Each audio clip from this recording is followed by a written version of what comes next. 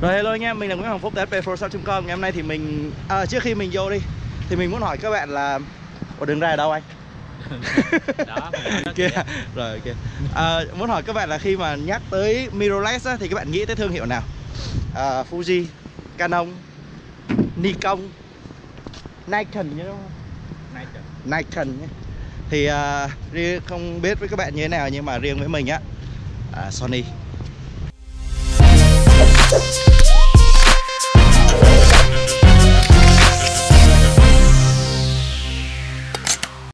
Rồi thì uh, hôm nay uh, vlog số mấy, số 2, số 3 gì đó. Thì mình đang tới một cái cái cái chương trình của Sony. À, ngày hội Sony Alpha gì đó đó. Nhìn nhìn cũng khá là vui, anh em xếp hàng gì tùm lum nha Không biết là có cái gì mà sao phải xếp hàng dữ vậy trời. À, Vô đi vô đường nào. Vé. Ê, cho mình gửi vé gì không bên Sony Center đúng không? Ờ, chi nhánh nào anh?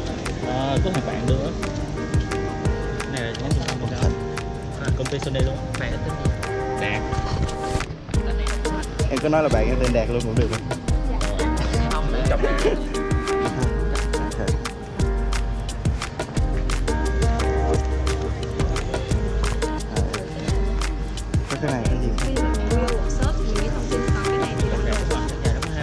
đồ đây hả? To vậy sao? Rồi ok.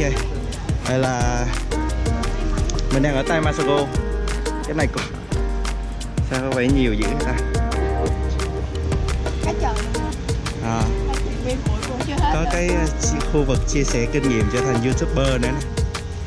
Tí nữa. Một giờ. Ồ, một giờ đến ba. Như một đầu buổi chiều youtuber là cái cái đầu chiều 2 giờ đến 4 giờ à. có uh, chụp thời trang đèn led nữa nè.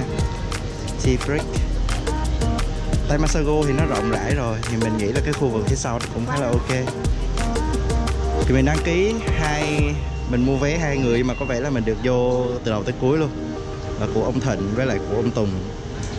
Thoải mái đi anh nó không có giới hạn đâu. Ha mình không có ghế ngồi thôi chỉ có giới hạn ờ vậy là mình mua hai cái vé luôn. Mình thật thà vải đạn. Giống như kiểu bị lừa sao buồn quá. Cảm cảm giác nó hơi buồn một tí.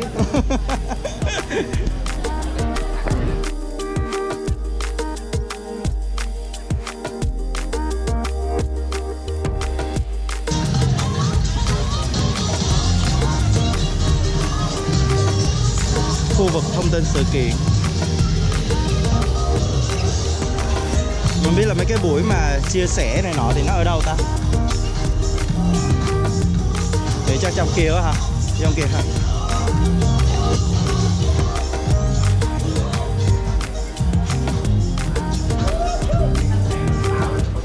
Nhưng mà để quay trở lại một tí xíu tức là mình phải hiểu được cái thế nào là một cái món ăn đẹp cái đã. Trời ơi, vô khu này mà phải có cả một cái sơ đồ thì mình mình biết ở đây nó kinh khủng cỡ nào rồi.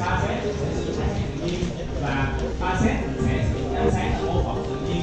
Thì ờ, thực thực ra thì nó, nó ánh sáng nó đơn giản là mình là khi mình chụp ảnh đồ ăn mình sẽ sử dụng cái ánh sáng làm sao cho nó nhìn tự nhiên nhất. Và cái đồ ăn nó phải làm sao Ở đèn kiếm cái lượng ánh sáng đẩy lên cao trào nó được đẩy lên. Đây là người ta set up sẵn. Người ta set up sẵn cho mình à, chụp rồi. ví dụ như ở đây Nếu mà để test máy đây là một bức ảnh mà sử dụng ánh sáng tự nhiên. Và cái cái ánh sáng khi mà nó đi như thế này nè là ánh sáng khoảng từ 3 đến 4 giờ chiều thì ánh sáng nó sẽ Kia là- làm cho cái vector của mấy cái đồ ăn này có vẻ là giả hết đúng không anh? đúng rồi thôi sao nó còn chủ đá này đá giả này mình biết đi là nó cảm giác là nó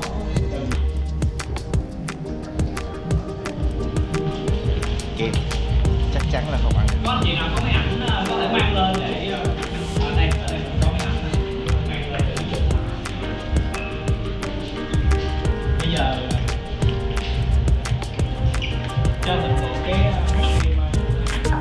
thì như các bạn mà hay search trên Google thì các bạn sẽ thấy là rất là nhiều hình ảnh ăn Để coi. thì cái ờ, Lên đây xem có gì thì vui. cái ờ, bức ảnh này á nó như các bạn xem này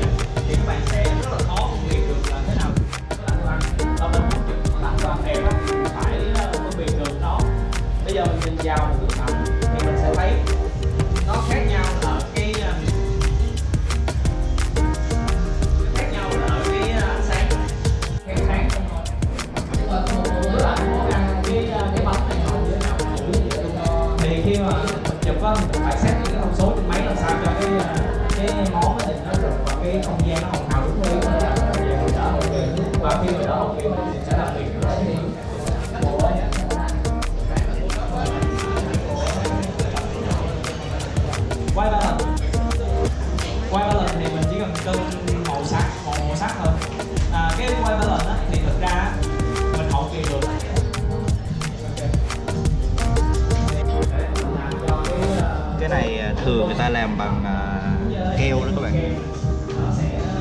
keo sữa.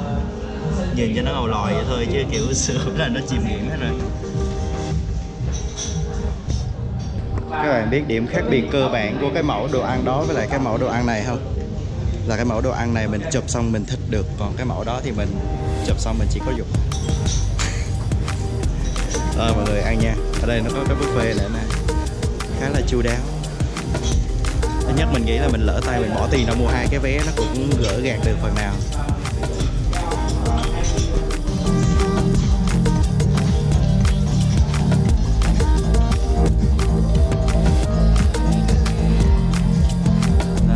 Đây về mẫu sự thích khu vực xa, mình tối thấy không trời? Đấy. đó, các bạn thấy không? Cái lưng người mẫu đứng tít ở phía xa xa kìa. Đứng ngay cái đầu tay của mình.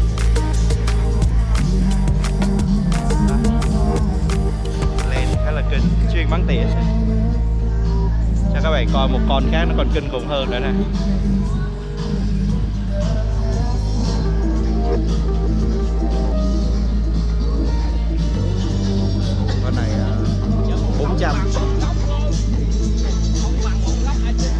Tiêu 400 này chụp là thấy mồm ruồi của mẫu luôn.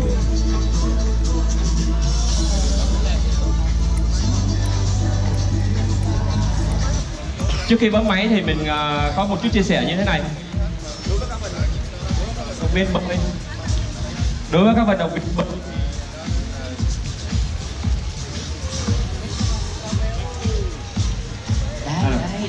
micro cười bắp à vời đối với các- vận động viên bơi thì à, mình à, trước tiên là mình mình phải hiểu về cái môn bơi, bướm như thế nào. Ờ, sẽ có hai phần là vận động viên sẽ nổi trên mặt nước và hai phần là vận động viên sẽ chìm dưới mặt nước. Và để đỡ tốn sót thì chúng ta chỉ lấy nét vào mặt của vận động viên khi mà vận động viên trồi lên khỏi mặt nước và xếp cò. Khi mà chìm xuống thì mình ngưng đi để cho đỡ tốn sót. À, các bạn à, mình sẽ mô phỏng cho các bạn à, một lần. Rồi à, các bạn có câu hỏi gì thì mình sẽ chia sẻ thêm ha. Dạ rồi. Anh vận động viên sẵn sàng bơi nhá. Rồi. Xin mời.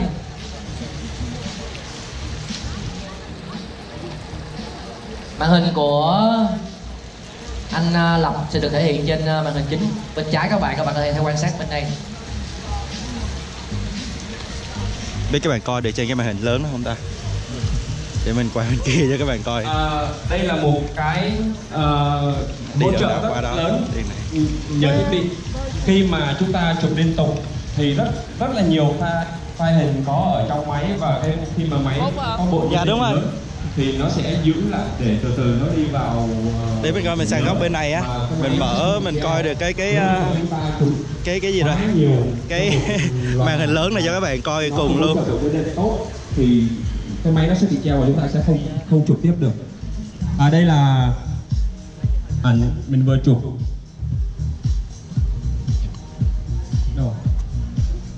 các bạn để ý. À, mình hy vọng đó các bạn mình thấy được vào mặt của vận động viên và siết cò để lấy lại những cái động tác mà vận động viên bơi. Và khi mà động viên chìm xuống mặt nước mình sẽ không này, mình sẽ không bóp cò nữa. Đỡ tố sót. Khi mà mình lên khỏi mặt nước thì mình sẽ sẽ bóp cò tiếp. Ủa, rất, rất nhẹ.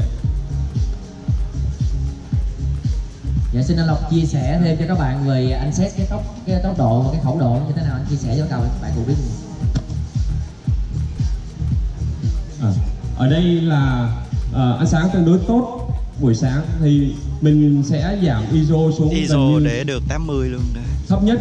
Máy để, thì chắc là hơi để mình ngon. có được cái những tấm ảnh mà nó sẽ trong dẻo nhất.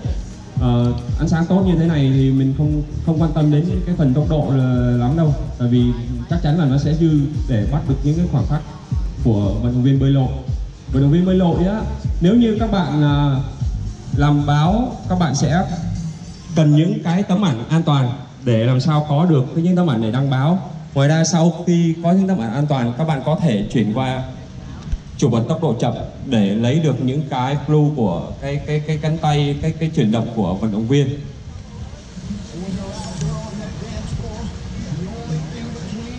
Rồi, và bây giờ là phần à, của tất cả các bạn trẻ. Xin mời các bạn, những câu hỏi của các bạn. Câu hỏi nào mà càng khó mà anh Lập trả lời không được là càng có quà nha các bạn. Rồi. Còn hỏi dễ quá là không có quà nha. Rồi xin mời những câu hỏi từ ờ, phía các bạn ờ, đến tham dự chương trình ngày hôm nay. Rồi em mời anh nè. Dạ. à, chào anh Độc Lập Anh cho hỏi thăm là khi mà anh chụp ảnh thể thao á, thì sẽ có những cái khoảnh khắc xúc động nhưng mà cũng có những cái khoảnh khắc là vận động viên sẽ bị tai nạn, bị té ngã thì đứng vai trò anh là một phóng viên ảnh ngay thời điểm đó thì anh có thấy rằng là anh có giờ anh tranh thức rằng tại sao mình không đỡ người đó mà thay mình là phải phải bấm máy? Thì thì anh cho chia sẻ cái cảm giác của nó như thế nào và có khoảnh khắc nào sau khi anh bấm máy xong anh còn rùng rây rứt vì mình đã không giúp vận động viên Ôi hay đúng không rồi. Câu hỏi này khó anh. Có khi nào vận động viên bơi lội họ khóc không anh? thực ra là trong ảnh báo chí nói chung ờ, chứ không riêng gì thể thao. Các bạn nếu các bạn ờ, theo dõi thì các bạn ờ, cũng thấy là rất là nhiều tình huống ở ngoài xã hội mà khi mà những tấm ảnh đấy được bung ra thì rất là bị ném đá là tại sao mình không giúp đỡ cái người đó mà lại đứng là chụp ảnh. Nhưng mà đấy là một cái ờ, anh em phóng viên ảnh phải trả giá phải chấp nhận việc đó. Tại vì nếu như mà mình không chụp những khoảng khắc đấy lại để truyền tải cho bạn đọc thì mình quay qua mình mình đi giúp uh, nạn nhân.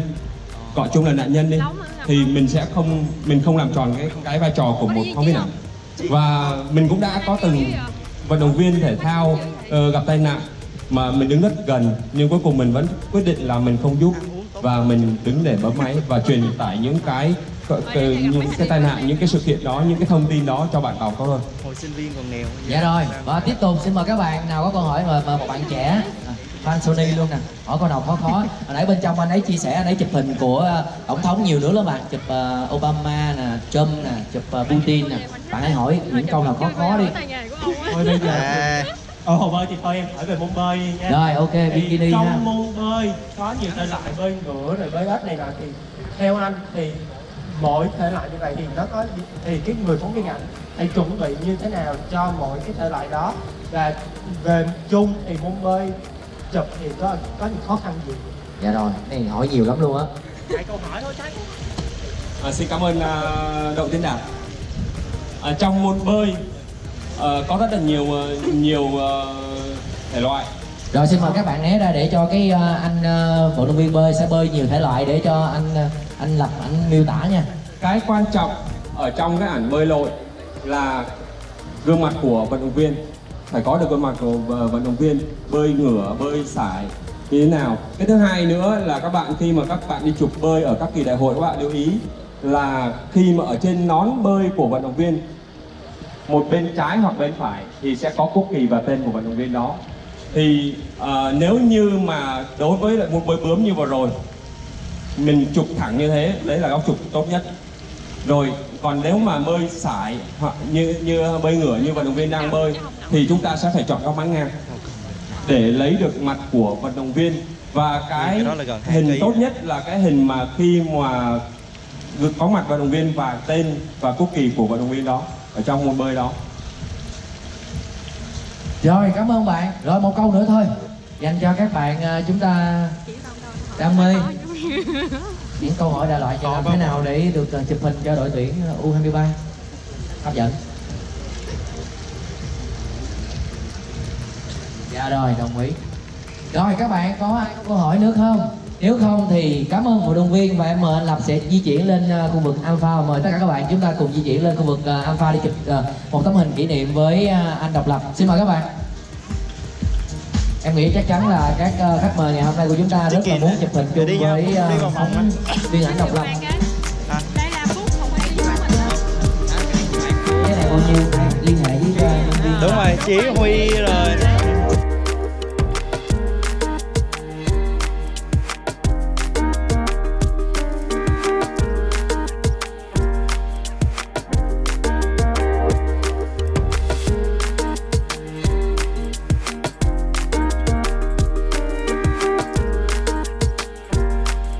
khi mà đi những quãng đường phố và các bạn ngại việc tiếp xúc giơ máy lên mà hay sợ là người ta không cho là chụp. Chính xác hoặc là chụp nó không có tự nhiên. Đó là trong những cái mà mà, mà các bạn hay chụp ảnh đường phố các bạn hay bị cướp